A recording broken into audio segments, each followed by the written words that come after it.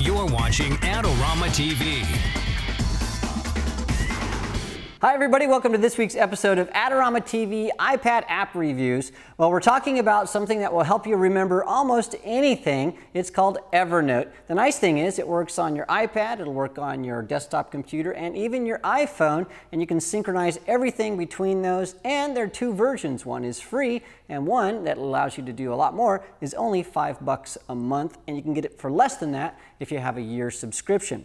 Well, Evernote stores documents, photos, and even voice memos. So let's say I have my little iPhone here and I want to take a new voice memo and I want to remember something specific. Well, I'll just go in here. It's recording. I'll say, hey, you're supposed to remember something specific like the number 12. Once I have that done, I'll hit save and that'll save on my iPhone. It'll upload it and automatically I can take that and sync it on my iPad. So let's take a closer look at Evernote for the iPad. When you open Evernote, you have this nice interface that shows you all of the different voice memos, notes, photo uh, notes, and anything that you've thrown into Evernote from any application, either on a desktop, iPad, iPhone, or other mobile device, will show up right here. So let me walk you through how each of these things work.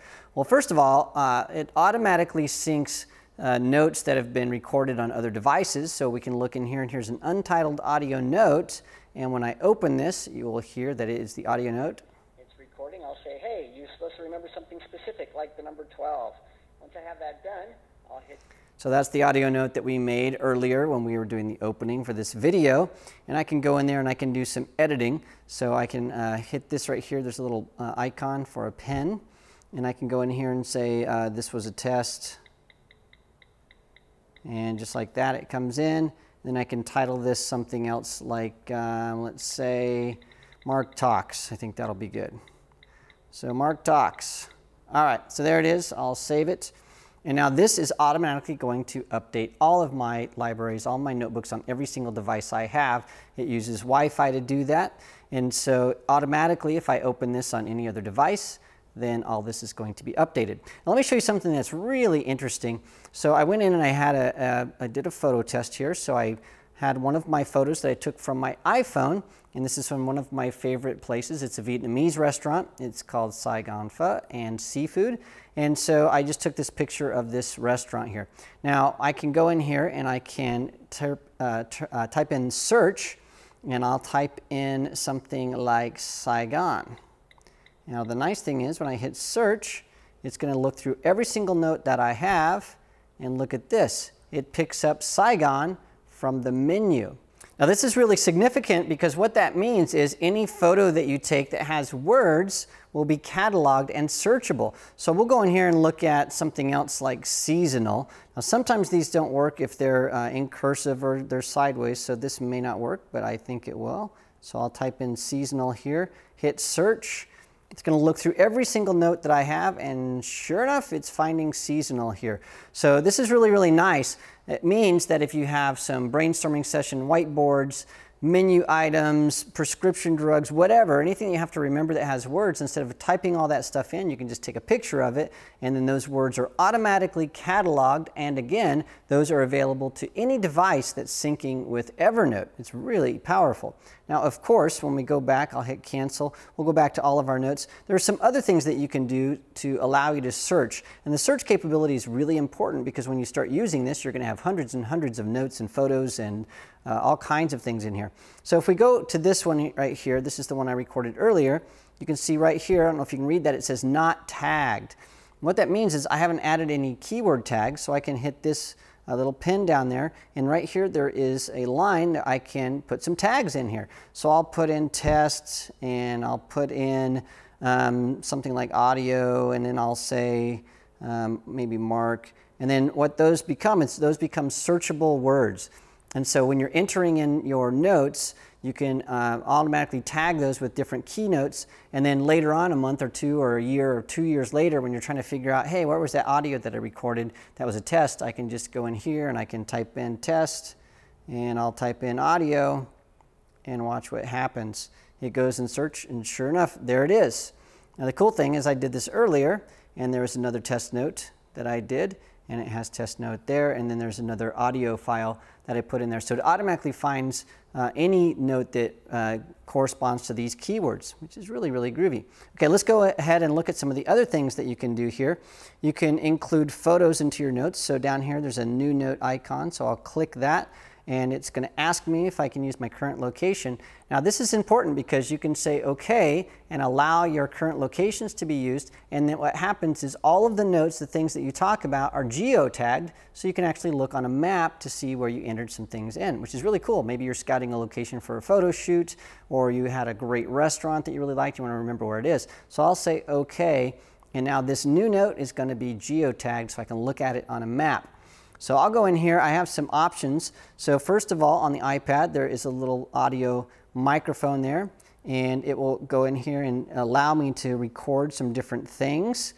Um, if I don't want to do that, I can go into this uh, right here and go into my photo album. So I'll go in there, I'll pick a photo, uh, one that I took in, let's say Paris. Here is uh, the Eiffel Tower. It's a little bit crooked. So it saves that image clip there. I can go in here and type in some stuff. Uh, this is live. I'll do that. Okay, this is live, good. And then I can put in some bullets or whatever. And so I can put in all kinds of notes. I can put in audio files. I can do whatever I want. I'll title this and I'll say uh, this is Adorama TV. And there you have it. Um, then I'll put in test for my tag. I can put all kinds of things in. You get the idea. You can put all kinds of things in there. Then I'll save it. And what this is going to do is it's going to save it on the iPad and additionally it's going to put it on the Evernote server on the internet and so now anytime I open Evernote on any other device or my desktop that will be live and I can read it and search it and index it and do all the things that we talked about earlier. Okay, let me explain some of the icons at the bottom here because these um, are really neat. So we have the trash. So let's say we have a note that we don't like, like this one. Here's a note that says buy milk. Okay, that's not really significant. I can hit this and I can move that to the trash. And again, it gets rid of it on this and all my devices. I have this little icon right down here. When I push that, it refreshes. So it brings all this in and so it makes sure that anything that you have is refreshing from the internet. So everything is being pulled right now from the internet. This little uh, icon here is to edit any of the notes that I have here. I have this little satellite dish down here. When I push this, this gives me some interesting things. I can synchronize this uh, on demand and so it'll synchronize with the internet and all my devices will be up to date. I can change my account type. Now there are two different account types. There's a free account, which means you get Evernote and all the services for free or you can have a premium account. You can clear the cache. That's uh, something that stores all the images on your local machine. Um, and there are other things that you can do here. If I go over here to this plus icon, this is called the Evernote trunk. And the nice thing about this is this is where Evernote really shines because Evernote is built for plugins. And so you can add all kinds of things. You can add things for your mobile device, things that work on your desktop and the web. You can uh, add hardware that's specific to the Evernote system. There's different kinds of gear, different types of notebooks.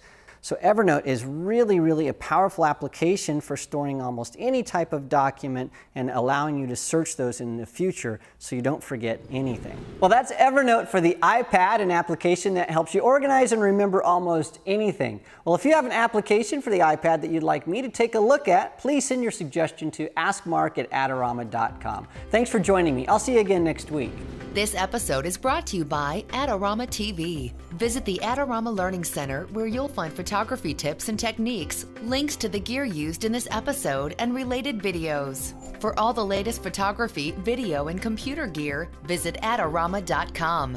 And the next time you're in New York City, visit our store located on 18th Street between 5th and 6th Avenue.